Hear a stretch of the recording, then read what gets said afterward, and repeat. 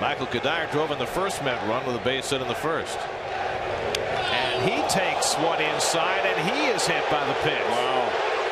Flores got hit on the hand earlier in the inning and now Cuddyer gets drilled.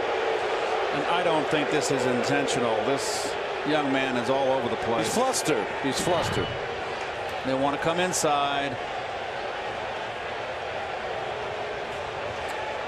Got him on that left hand. I don't like this sign. I know it hurts. That ball will bite you, folks. Let me tell you. I don't like the sign because he, he kind of looked down like that's not right. Yep. And Terry Collins is gesturing to the dugout. Looks like Cuddyer is coming out of the game. They're going to x-ray that pronto and get some ice on it. This is going to be an